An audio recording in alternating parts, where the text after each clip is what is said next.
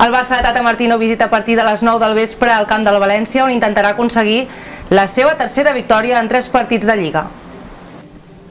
Els 19 futbolistes convocats han viatjat aquest mateix matí. La plantilla ha arribat plegada al Prat, excepte Leo Messi, que avui viu el seu primer desplaçament, i Neymar, que han arribat per separat. Al voltant de les 12 del migdia han aterrat a l'aeroport de Manises, on la Marta Carreras ha pogut copsar l'expectació generada pels jugadors del Barça.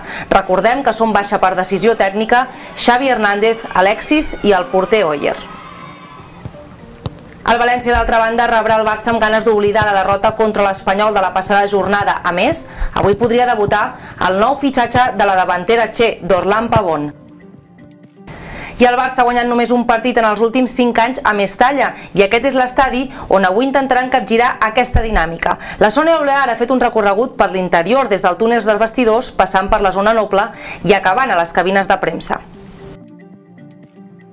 José Antonio Teixeira Vitiene serà l'àrbitre del València-Barça. L'últim partit que va xiular els Blaurana va ser el d'anada de Copa contra l'Alavés i va anul·lar un gol a Alexis per un fora de joc inexistent. A la temporada 2011-2012 va dirigir el partit contra el Villarreal i a l'acabar Leo Messi no va poder mossegar-se la llengua.